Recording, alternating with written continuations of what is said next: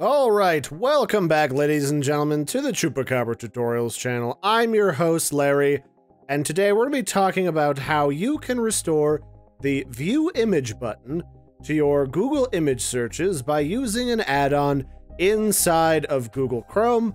And if you don't have Google Chrome, there's also a very simple way that everyone can restore this functionality with just a couple of key clicks, and it's built in to pretty much every single modern internet browser that you can get out there right now.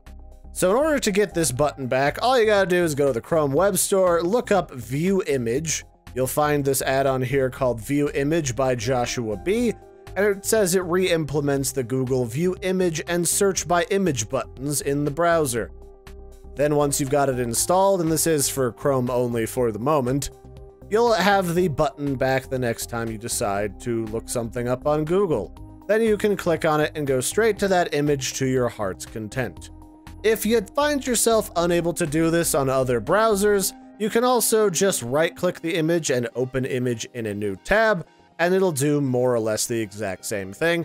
It's just this is a little clicker, quicker and a little cleaner and a little bit easier when you're just kind of browsing around looking for images and not really sure if you want to use it for something clever or if you're just kind of looking for a new wallpaper.